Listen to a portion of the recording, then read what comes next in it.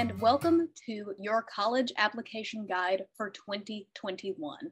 I'm Micah McGuire, Pro Writing Aid's B2B Marketing Manager, and today I am joined by Dr. Lindy Ledohowski, and she has got a great session prepared for you guys on everything you need to know about college applications.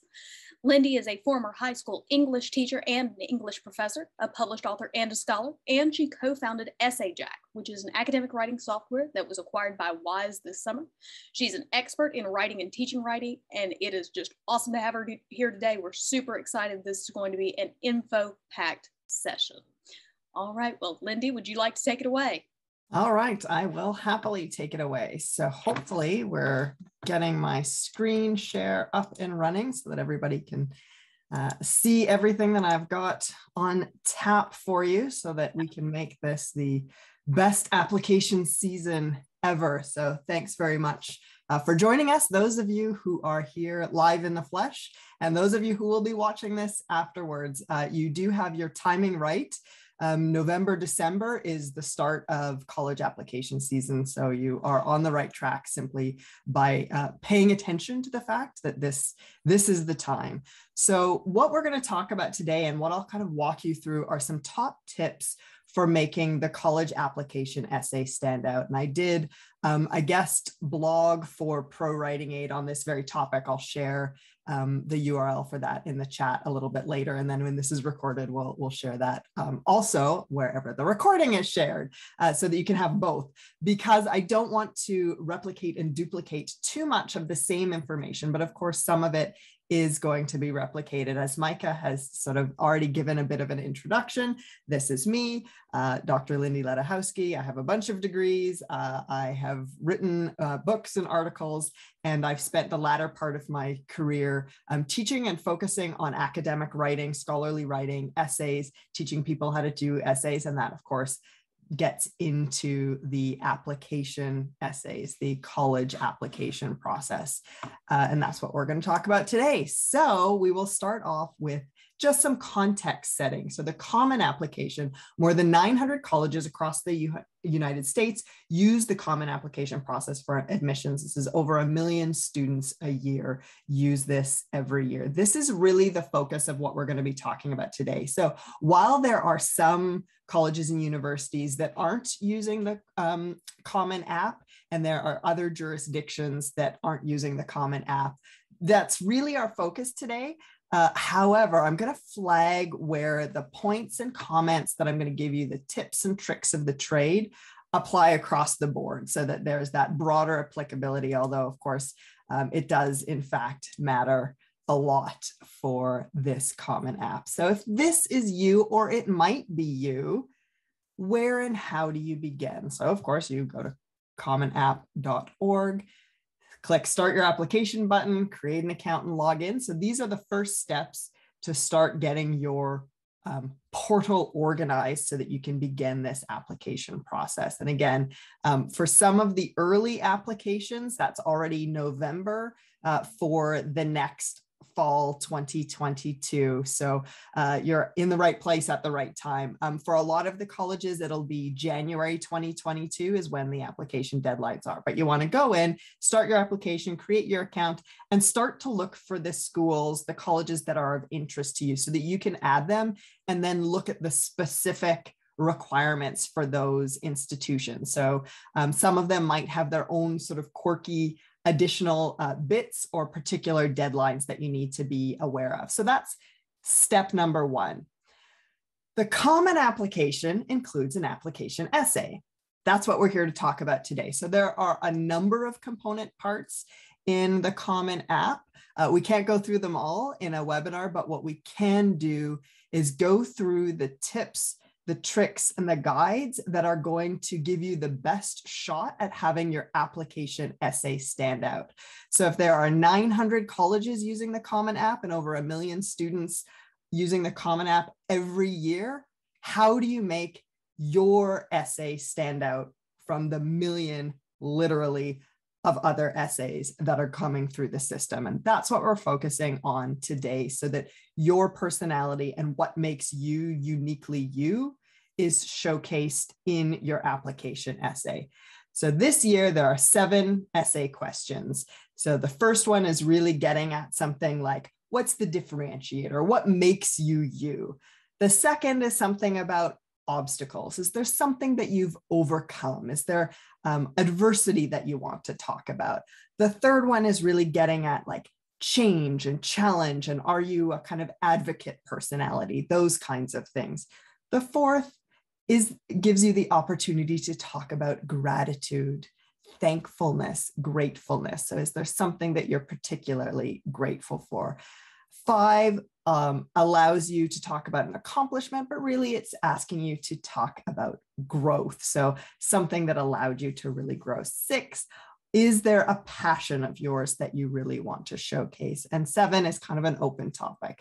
So again, you don't have to remember all of that uh, right now. I did just want to put them all on one screen, but we're going to work through each of these seven uh, quest- questions, each of these seven essay prompts to get a sense for how you can make yours stand out and be uh, particular and but also authentic and true to you and who you are. Um, and as i mentioned even though we're focusing on the kind of requirements and the expectations of the common app um, these same types of prompts are the sorts of things that are expected when you're asked for a personal statement so that might be outside of this common app preparation for your application for college, um, there are other contexts where you might be asked to produce a personal statement, and a personal statement uh, will will function in in much the same way. So these tips and tricks uh, have that broad applicability as well. Now, before you sit down to decide which of those four, seven, which which of those seven prompts for which you're um, given the opportunity to write this year, the most important first step is to brainstorm. So before you can decide which of those seven questions is going to be the best one for you, which one is the one that really speaks to your personality and your traits and is going to let you showcase yourself to the best, um, you're going to want to kind of focus on bringing those characteristics of yourself to the surface. Now, you might be 16, 17, 18 years old. Maybe you have an idea of who you are. Maybe you're going to need some help unearthing that. So, I often say the first um, way to brainstorm and help to get some reflection on who you are is to turn to the people who know you and who love you. So for this uh, tip panel, I often say it's like your family, uh, your best friends, people who really know you. So it's up to you to decide who those other people are, but ask them what's one word you would use to describe me? What characteristic of mine do you like the most? When you think of me, what's the first thing that comes to mind? And if you ask three to five people these same questions, you'll start to see some similar things come to the surface. So if if people say that you're really empathetic, um, that's going to come out. If they say that you're really ambitious, if they say that you're really creative, those are three very different personality types.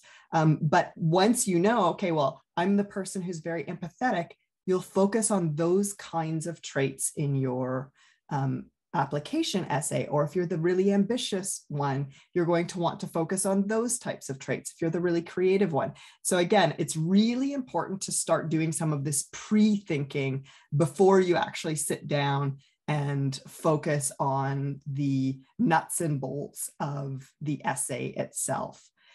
And then another way of getting at this clarity of mind about who you are really at the core um, is to ask yourself these three questions What have I done that I'm the most proud of? What do I like the most about myself? And am I different today than I was two years ago?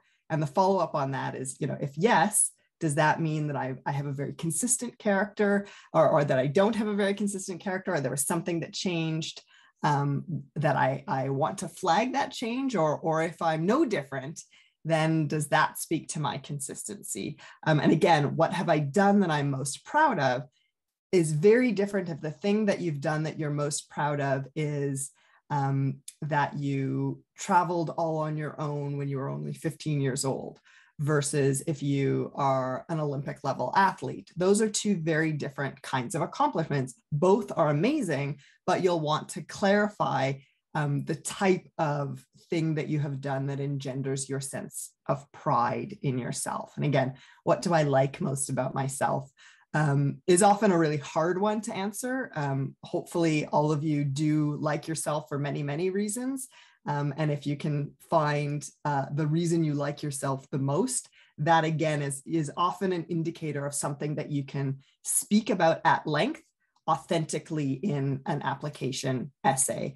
Um, and again, as I say, I hope you like lots of things about yourself. Uh, I always find this one challenging and uh, because I'm very critical. And so that's again, one of the things that if I were writing an application essay, that would be a flag for me that it's a challenge for me to like myself, for instance. So now let's say that after that brainstorming, we've decided, okay, I'm, I'm going to think about um, maybe tackling that question number one. That some students have a background, identity, interest, or talent that's so meaningful, they believe their application would be incomplete without it. If this sounds like you, then please share your story. And what we're looking for here really is is there something about you that's a differentiator? Is there something about you that makes you stand out um, from everybody else that you know? Now, it could be a circumstance of your existence, it could be um, an interest, it could be that you were born someplace really interesting and fascinating. Um, the big tip here is in an application essay that's tackling this topic, um, while it's true for all of the application essays that you want to show, not tell, this one, it's very important that you find um, adjectives and descriptive words in the narrative construction of the story of you that will showcase how you stand out. So instead of saying simply that I am different from everybody I know, show how that difference becomes manifest. The other um, caution I would give if you are choosing to write on this topic, which again is really trying to allow you to articulate um, something insightful about what differentiates you from the um, 1 million other people who might be applying, um, is that you actually do understand um, the level of, of, of difference. So to simply say, oh, well, you know, what makes me stand out is that I'm, you know, one of a family of four and I'm the middle child, and that makes me different from my siblings.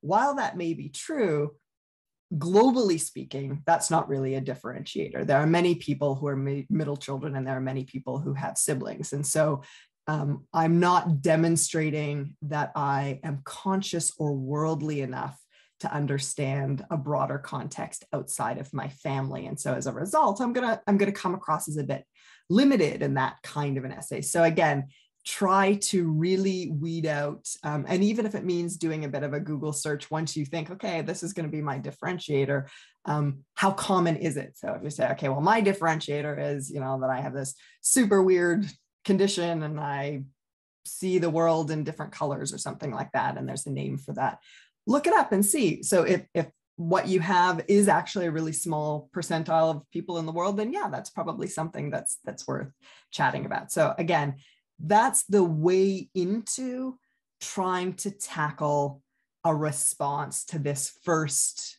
um, essay prompt for this year's application season. The second prompt is the lessons we take from obstacles we encounter can be fundamental to later success. Recount a time when you faced a challenge, a setback, a failure.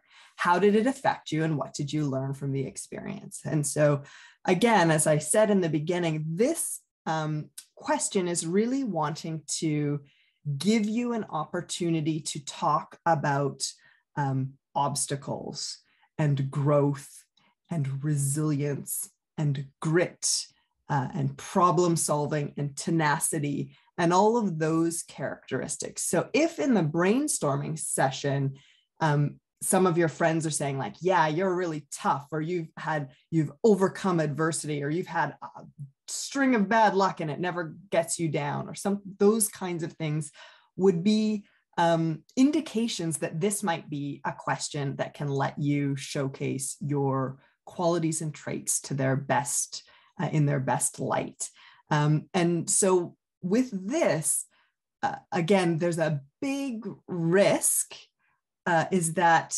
um, often we feel, because all of us struggle, so we all feel our own struggles, and we all feel that we can talk about our own struggles in such a way that they can demonstrate our growth.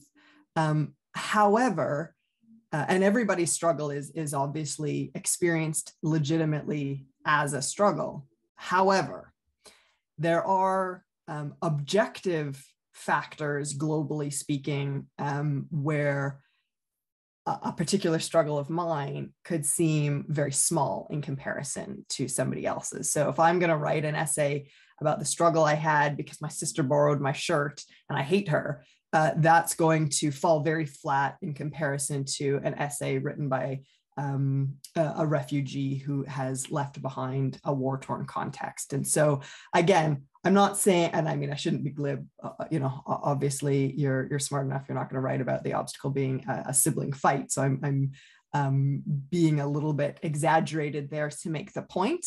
But just the caution here is to be mindful because um, we can all get caught up in our own worlds. That's that's the nature of human existence.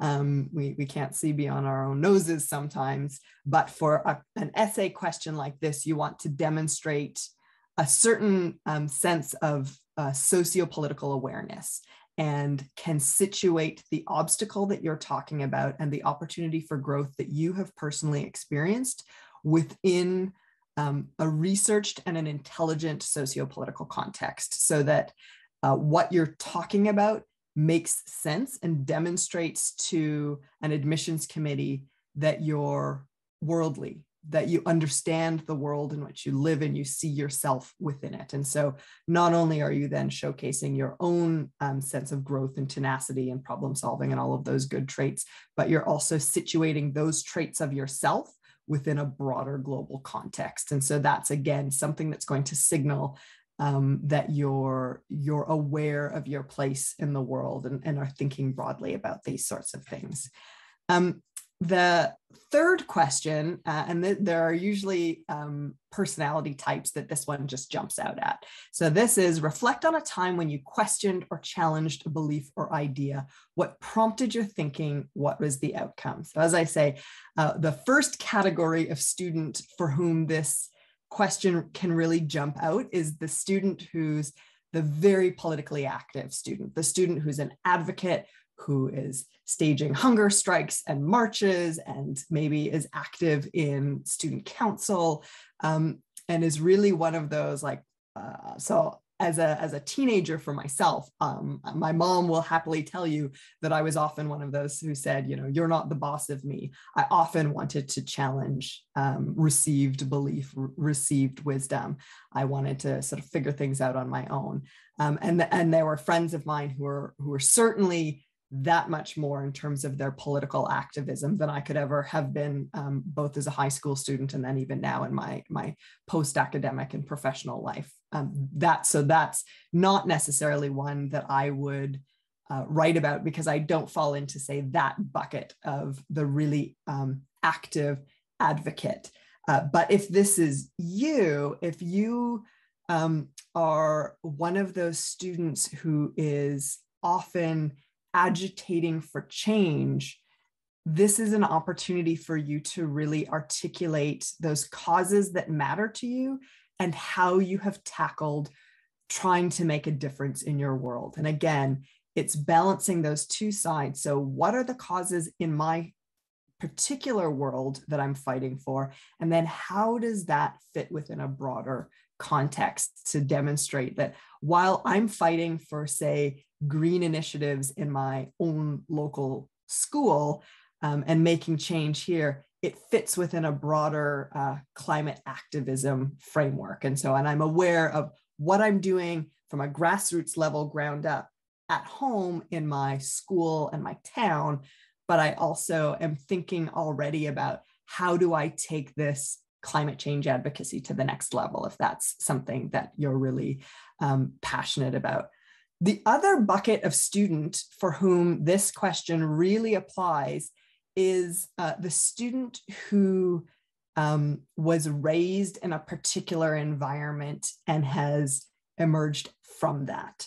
So if you were raised um, in a in a in a really liberal environment and you've converted to be far more conservative, whether that's politically conservative or religiously conservative, or conversely, if you were raised in a very closed religious community and you've emerged from that um, through sort of a crisis of faith, or you've had a sort of paradigm shift in the way that you've seen the world, either because you yourself have made that shift, or perhaps there was a family circumstance that took you from one context to another, and you had to uh, make your peace with that kind of shift. That's the other bucket of students who can do really well uh, in this kind of question to showcase um, that significant change in circumstance and how that change in circumstance also affected your own belief system and, and what you did to navigate those changing waters. So again, um, it, it, won't, the, the tip here or the thing to avoid is it won't be very compelling if you say, okay, well, I was raised in a really strict religious environment and I went to a religious school in elementary school and right up through high school. Um, and I'm hoping to go to religious school for college. That obviously isn't demonstrating that kind of change. Uh, you want to then showcase um, that you've you've changed uh, that outlook in some form or another. And then uh, similarly, if, for instance, in that example to carry it on, let's say you were raised in a very religious context in your youth and have emerged to have a different worldview later.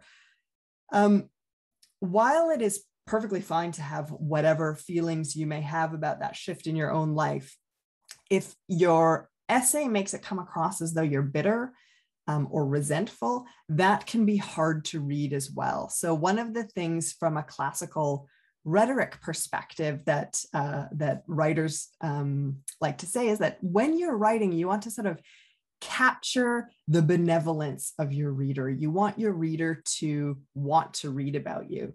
Um, so if you're saying, okay, well, I used to believe this and now I believe this, and you frame it in such a way that the first belief system is wrong and stupid and i hate the people who who made me live that way um, that can be really hard for somebody to read uh, unless there's you know there's there's really uh, good reason and the things that you you suffered were you know horrible or something like that. But then you may uh, find it better to talk about that in the obstacles question. But anyway so that's the two buckets of students the really advocate you know i'm i'm the the the fighter for justice uh, in my school and this question speaks to me or uh, the student who uh, really is is um, uh, has changed those views and so micah you're jumping in are there some questions you want me to answer yeah we have a great one that I think is going to apply probably to a lot of these essay questions, but I especially see how could it apply in this case.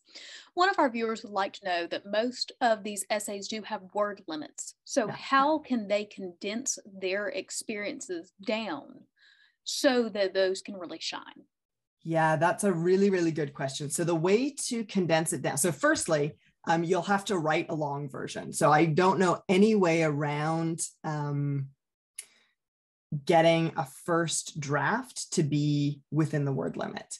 Uh, in most cases, you have to um, write your responses out as long as possible and then start condensing things down so that you can really narrow in on the key plot points that are crucial here. So, you know, using this one, let's say I want to talk about my advocacy, I'm going to have to pick uh, perhaps a march that I planned in my school, and that's what I'm going to focus narratively my essay around um, about this um, this march to for social justice of whatever sort, and I'm going to write that entire story and then i'm going to be able to identify what are the crucial elements and i don't think there's a way you can kind of shorthand it at the beginning Um, but to write and then edit is is kind of tip number one on on that in terms of a tactic.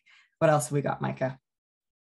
I think that is all of our questions for now, but I think that's just a great way of looking at it is finding those common threads and things like that, and maybe one event that kind of exemplifies what yeah. you've done.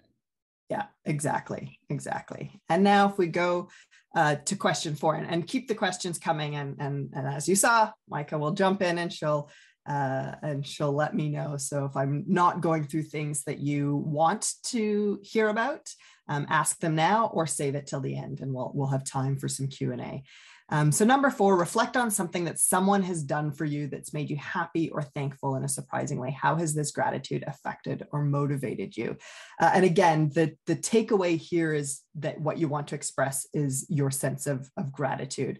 Um, the tip that I have for this kind of question, if this is the one that you choose to answer, is that what you want to demonstrate is how you are translating that sense of gratitude for what's been done for you into an ethos of, say, paying it forward in your own life or changing how you behave in some way in your own life. Like, so what are the lessons learned essentially? So, not only am I grateful because of the opportunity that somebody gave me or the kindness that somebody extended to me or the surprising way in which this person um, offered me an olive branch and we were able to mend um, an uncomfortable situation. Um, all of those kinds of institute incidents of gratitude then give you an opportunity to change. And so being able to reflect on that um, doubled side of the gratitude and then how I was able to change.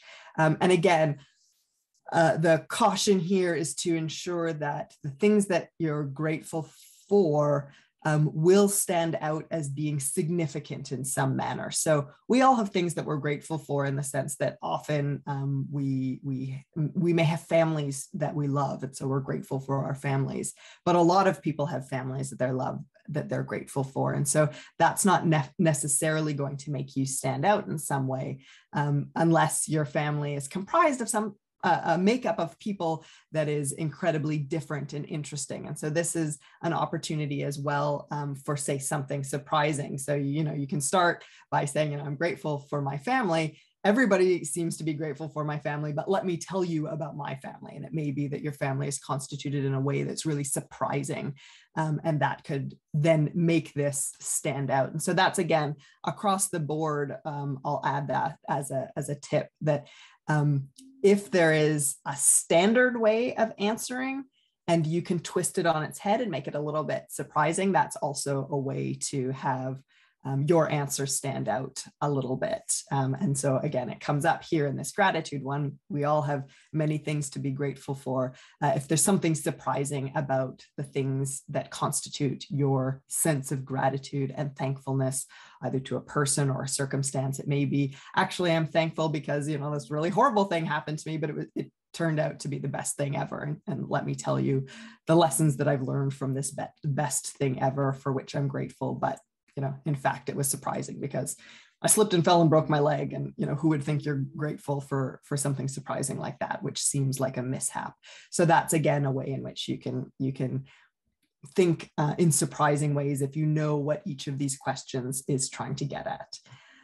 Um, number five is discuss an accomplishment, event, or realization that sparked a period of personal growth and a new understanding for yourself and others. And again, with this one, it's really looking for um, growth. So, how did something change you? How did um, an opportunity here? We've got the branching off of the pathways. How did that um, change you? And the most important part of answering this kind of question is to be able to clarify kind of a before and after. So, this is how I was before, and this is how I was after that.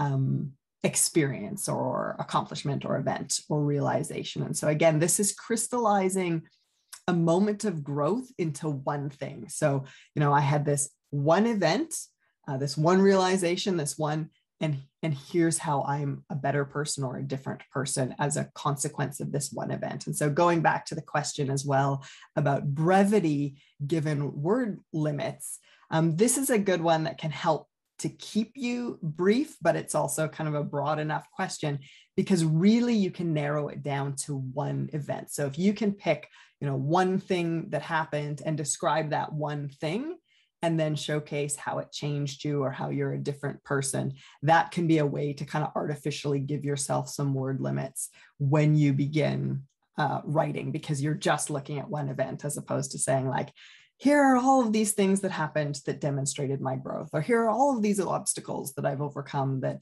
um, I've, I've had to demonstrate my resilience. This one is asking for you know you to try to crystallize it uh, for one thing. And again, um, when you do that brainstorming and you ask the people around you um, and you think to yourself in terms of your sense of pride if there if there is something that comes to the surface uh, like if you're really known as like you know the most amazing person at x um, then X may be the thing that you want to write about um, here because it's your thing. It's the thing um, that is your accomplishment or, or the event that you really shone at, and everybody knows you for that particular thing. And so, again, that can showcase your own um, sense of self really well.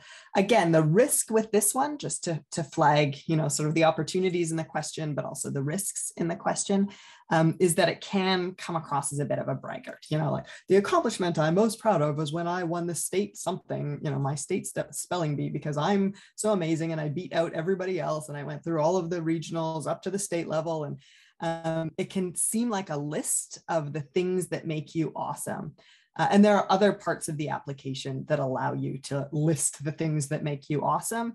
Here you want to show that not only are you awesome, but you're thoughtful uh, you're reflective, you're able to take that awesome event, internalize it, and think about it um, in, a, in a way that demonstrates um, that you're a better person or a more intelligent person or a more empathetic person as a result of, of that great, awesome accomplishment. Number six, and this again uh, will speak to a certain kind of student most loudly. This is the describe a topic, idea, or concept you find so engaging that it makes you lose all track of time. Why does it captivate you? What or who do you turn to when you want to learn more?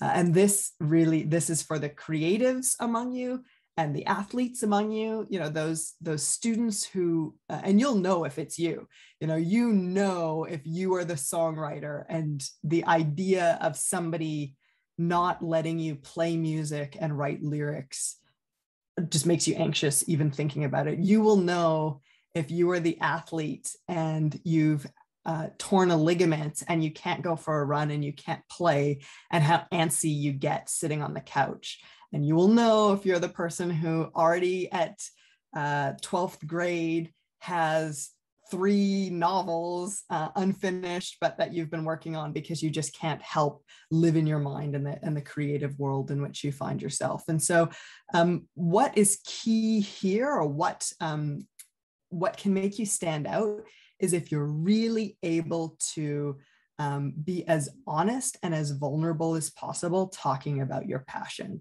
And so this is can be hard uh, because often as students, we're kind of asked to quantify our passions. So to think about our art in terms of AP art grades or our sport in terms of varsity teams and games won. And um, when the actual lived experience of um, articulating your passion uh, gets at something that's a little bit deeper. So, what is it that captures your imagination about your passions? Um, and being able to really showcase that. And particularly um, if you're a very good writer, so for some students where their passion might be poetry or songwriting um, or novel writing, um, you can really play linguistically so that you're showing, not telling. Your essay, in and of itself, can be an articulation of that art form.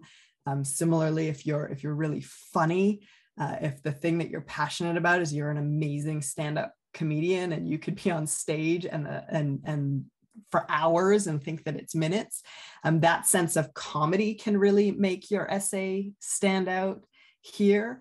Uh, so those are ways in which you can um, showcase a sense of vulnerability and honesty while also having the opportunity to talk about the thing that you love most of all in the world.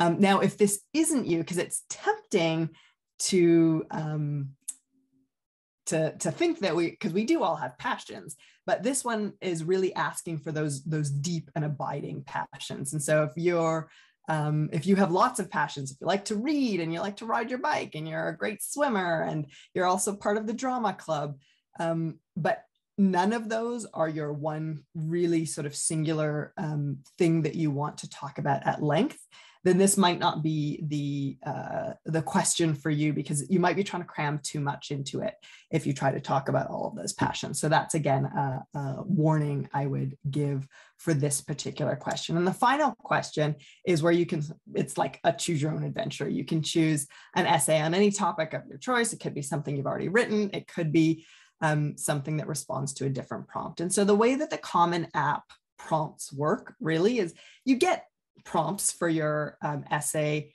every year. But as I said, really, it's just an invitation to write your personal statement. And so if there's something that you want to write about that you haven't seen captured in this idea of like the differentiator, the obstacle, the change, the gratitude, the growth, the passion, uh, in all of those previous six questions, then you have an opportunity here to kind of choose your own.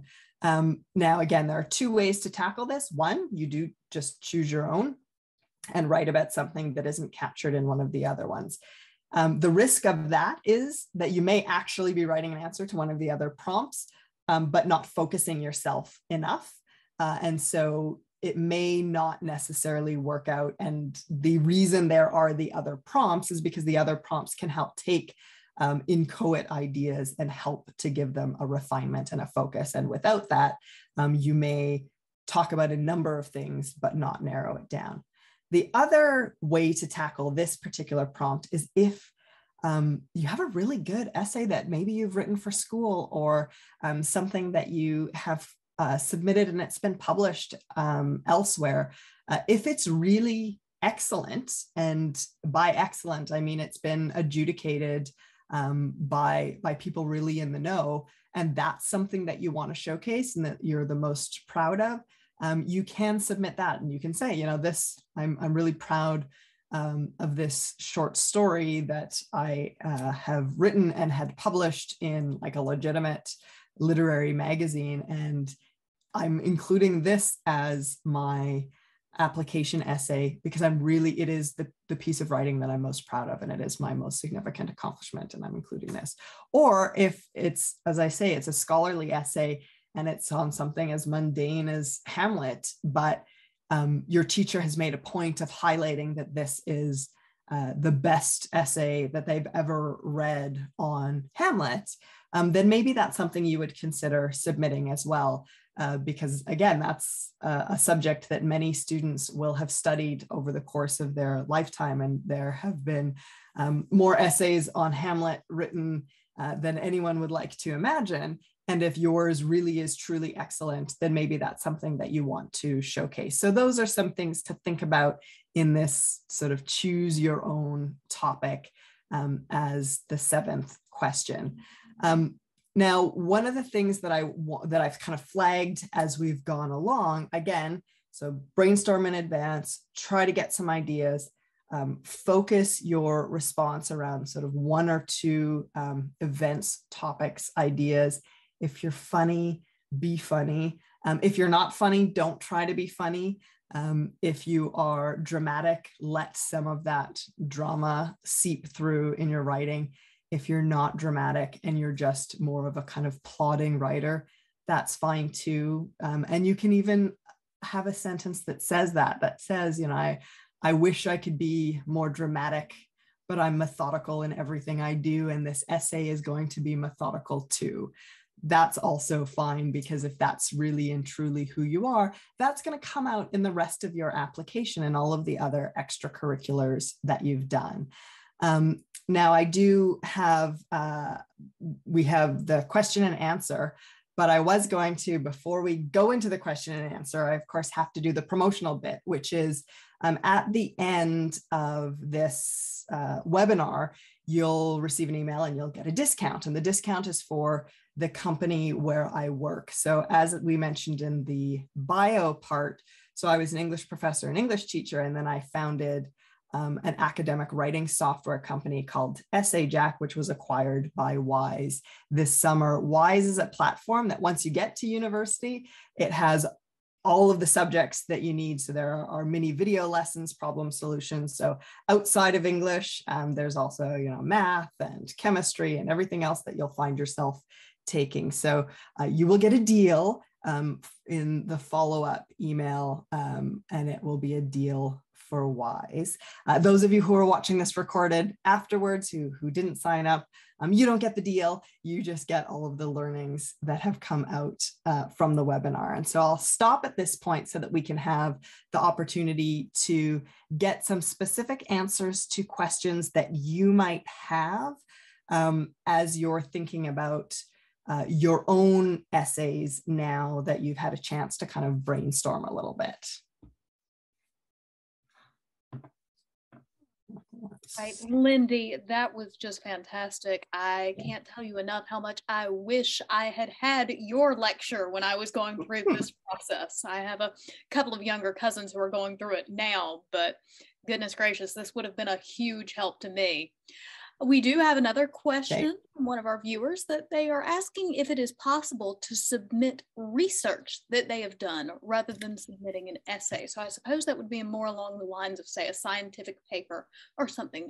Um, yeah, that's a really good question, and that kind of and that gets at that sort of option number seven. So let's say um, what you have is um, like a research paper essentially. So, uh, and it may have, and it may be based on um, science research that you've done, field research that you've done, ethnographic research that you've done.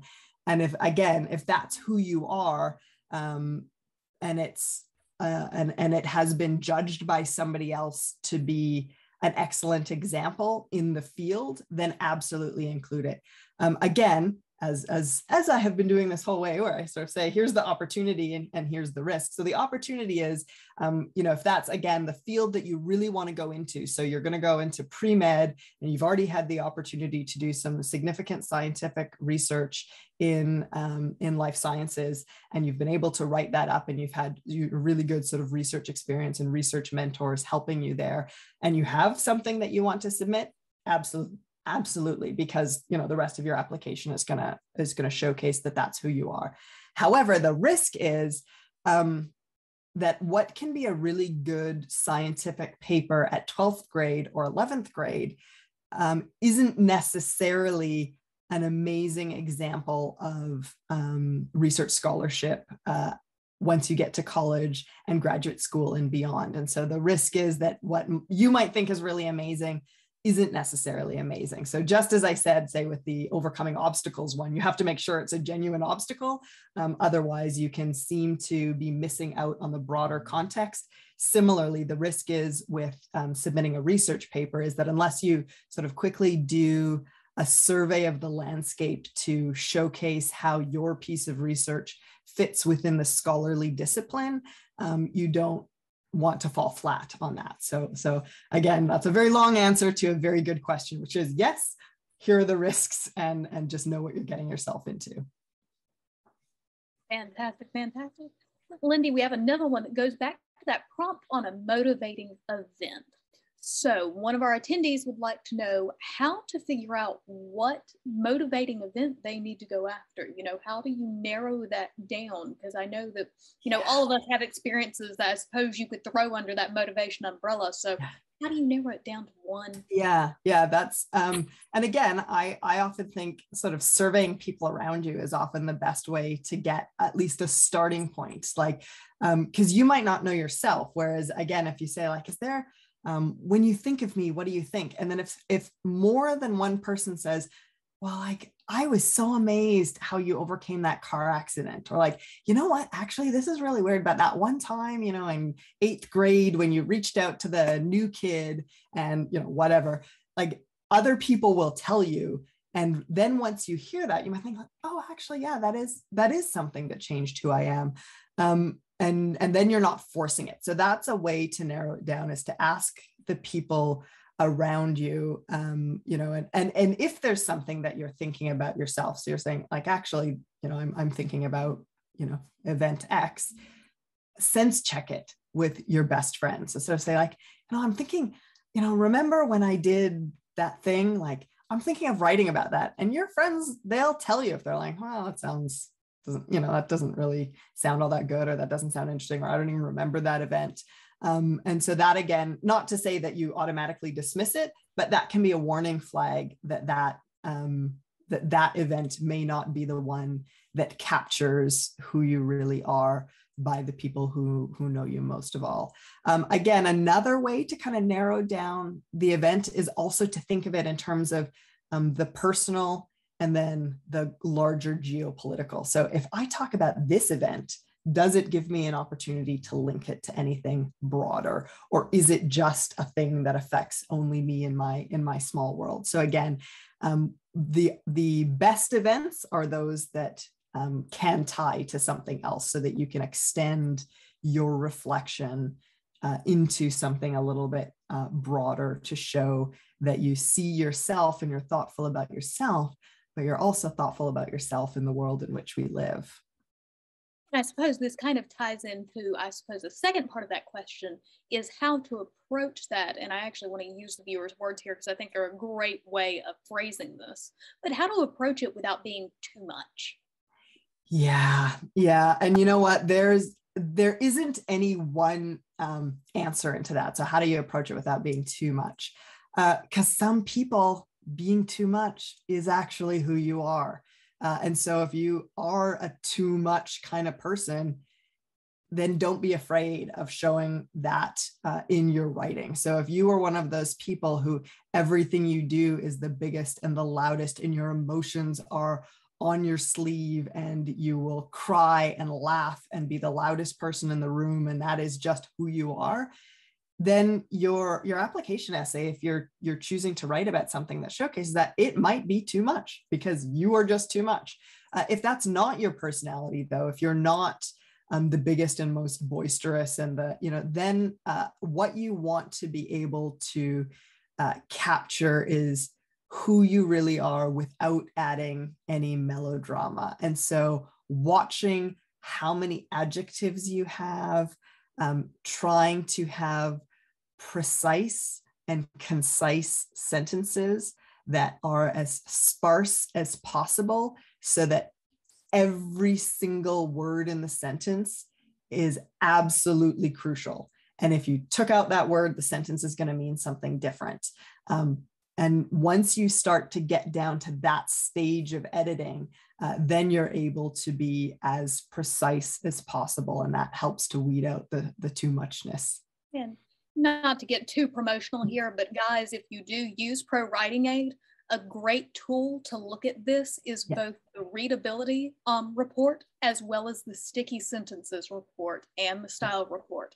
All three of those will help you narrow down to what the working words of your sentence yeah. really are and help you kind of get to the heart of the matter in as few words as possible because of yeah i was going to say that i was going to say the sticky sentences so yeah because that, that's gonna that'll showcase you which words you really need and which you don't all right, we have another one for question number two, overcoming an obstacle. Could a late diagnosis of dyslexia, dysgraphia, and ADD um, plus a portion on kind of a recovery and gratitude to a tutor who has helped be kind of a reasonable response. Absolutely, absolutely. I mean, ultimately, what you're what you're saying is like, is it reasonable if I'm kind of combining the obstacle and the gratitude um, together into one one response? And so, so number one, um, those uh, so those late diagnoses are absolutely um, obstacles, and the way in which um, you're able to write about and think about your experiences um, being um, undiagnosed and neurotypical to then post diagnosis and the kind of help and guidance can be really tremendously powerful. Um, particularly like as we start to think about different um, modes and and aspects of diversity um, also thinking about neurodiversity is one of the most important and often overlooked. And so,